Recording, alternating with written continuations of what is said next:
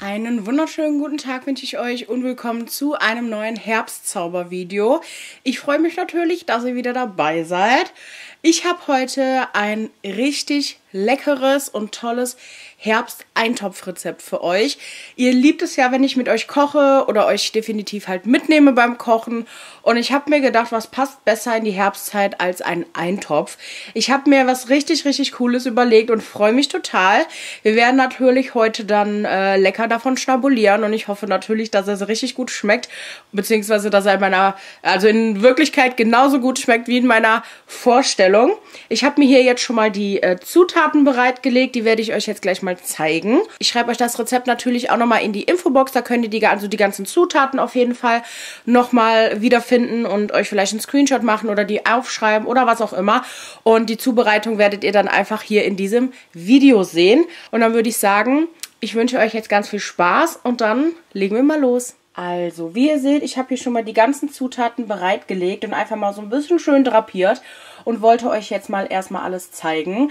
Also, es wird heute einen herbstlichen Eintopf geben und zwar mit Weißkohl. Ich liebe Kohl und jetzt hat Kohl Saison und ich finde es einfach so, so geil und lecker.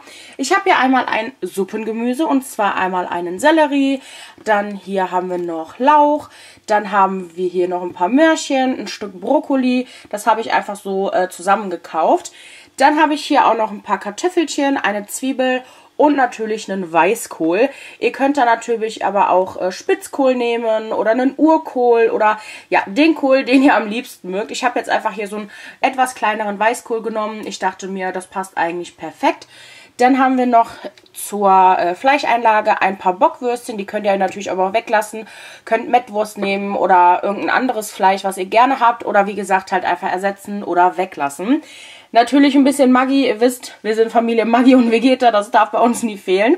Und dann habe ich hier schon mal ein paar Gewürze bereitgelegt. Wir haben hier einmal Brühe, also Vegeta. Dann habe ich hier noch Pfeffer einen Fleischbrühwürfel, ein bisschen Muskatnuss, ein Eintopfgewürz, ein bisschen Petersilie und zwei Lorbeerblätter. Denn äh, Lorbeer passt, finde ich, bei Kohl immer sehr, sehr gut dabei und auch bei Zwiebeln. Und ja, das hier sind die Zutaten. Das braucht ihr. Wie gesagt, die Zutaten schreibe ich euch nochmal in die Infobox. Dann habt ihr alles gebündelt. Und dann mache ich mich jetzt auf jeden Fall mal ans Schnimmeln und Vorbereiten. Und dann können wir schon mit unserem Eintopf starten.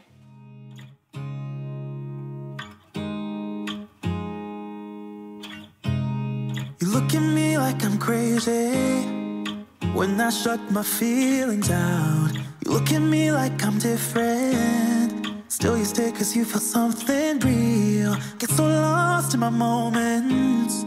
Doesn't mean I don't need you. I, I, I fell in love with your colors. They kinda tell me what I'm thinking. I Fell in love with the way we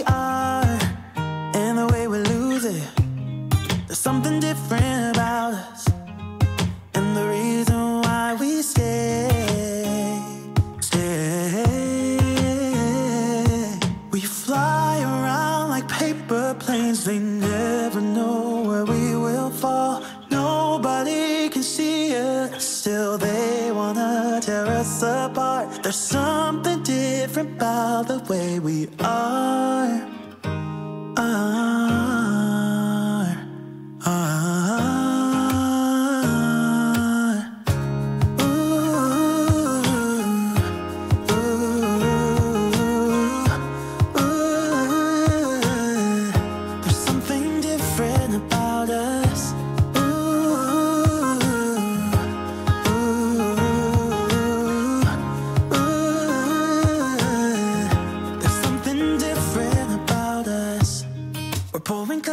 after cup after cup.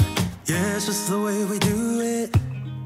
Anything just to block out the real life, real life. Yeah, we're loving the way they think we're so messed up. up. Even if what we're doing is bad, there's so many emotions. Sharing stories that we never had.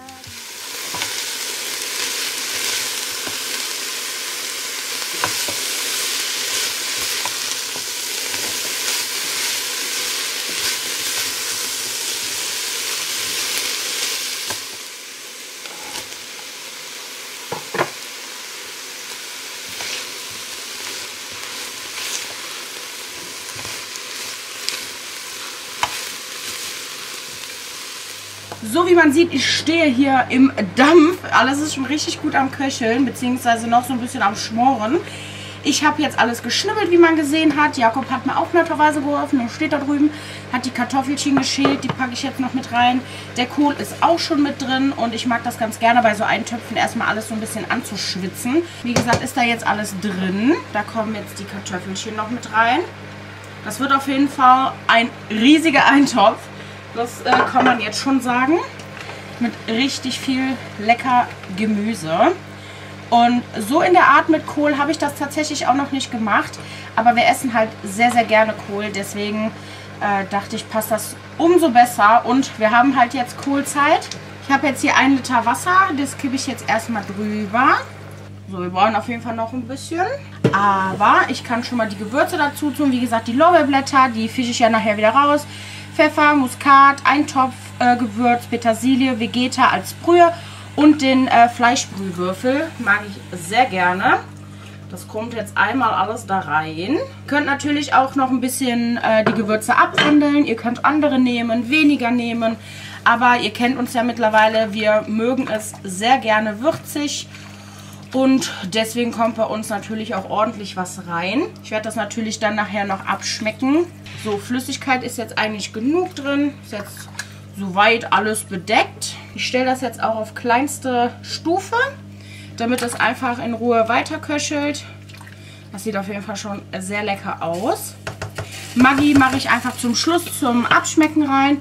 Und die Würstchen, die kommen auch relativ zum Schluss. Hier ist jetzt erstmal alles drin, was wichtig ist zum Köcheln. Da kommt jetzt ein kleines bisschen so schräg der Deckel drauf. Und dann können wir jetzt ein bisschen warten und dann schaue ich mal rein, wenn das Gemüse ein bisschen gar ist. We're searching for reasons not to be like them.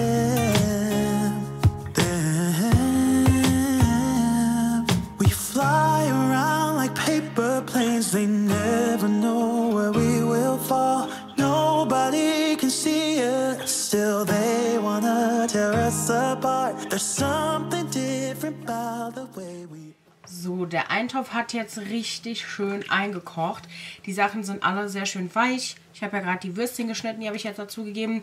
Ich habe noch Maggi dazu gegeben, das hatte ich ja noch nicht. Und noch ein bisschen Vegeta, weil, wie gesagt, wir mögen es ja gerne würzig und äh, für uns hat es noch nicht gereicht. Aber wie vorhin schon erwähnt, äh, ich sage es nochmal, ihr könnt natürlich so würzen, wie ihr das mögt und äh, einfach irgendwie weniger machen oder noch mehr machen.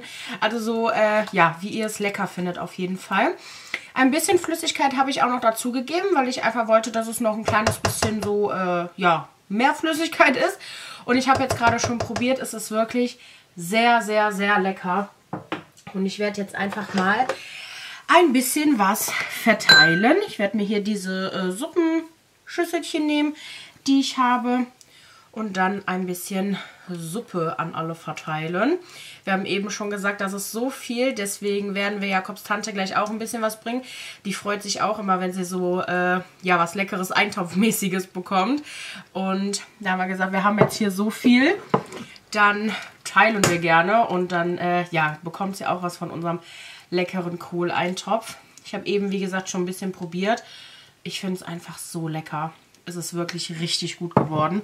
Und ich freue mich jetzt gleich, obwohl draußen äh, heute sehr warmes Wetter ist, freue ich mich trotzdem auf den leckeren Herbsteintopf und freue mich total, dass der jetzt so gut geworden ist und dass der wirklich so gut geworden ist wie in meiner Vorstellung. Und dass wir jetzt nochmal ein neues Eintopfrezept haben, was wir gerne nachkochen äh, würden, dann auf jeden Fall. Ah, toll. Ich bin auf jeden Fall sehr begeistert. Ihr äh, könnt auf jeden Fall die ganzen Zutaten nochmal in der Infobox finden. Und ansonsten seht ihr die Zubereitung natürlich hier. Eintöpfe sind natürlich immer super, super einfach und super praktisch. Die gehen wirklich super schnell. Man muss einfach nur ein bisschen was schnibbeln, alles rein und dann köcheln lassen, bis es fertig ist, ein bisschen würzen. Und das war es auch schon. Ich glaube, einfacher äh, geht es eigentlich nicht. Ich kann euch nochmal hier kurz zeigen. So sieht es aus. Super, super lecker. Ich werde jetzt mal unseren Eintopf hier verteilen. Und ja, ich würde sagen, wenn es euch gefallen hat, dann lasst mir natürlich sehr, sehr gerne einen Daumen nach oben da. Darüber würde ich mich wie immer sehr freuen. Und dann war es das mit diesem Herbstzauber-Video. Ach, ich bin einfach total begeistert, denn ich liebe solche Kochsachen und so Eintöpfe und bin immer super, super happy, wenn ich euch ein neues Rezept äh, teilen kann. Falls ihr es nachmacht, schreibt mir auf jeden Fall sehr, sehr gerne, wie ihr es fandet und vielleicht habt ihr es ja sogar abgewandelt oder so und habt noch was anderes reingemacht. Das würde mich sehr interessieren und ja, dann würde ich sagen, verabschiede ich mich und dann sehen wir uns direkt beim nächsten Mal wieder. Tschüss!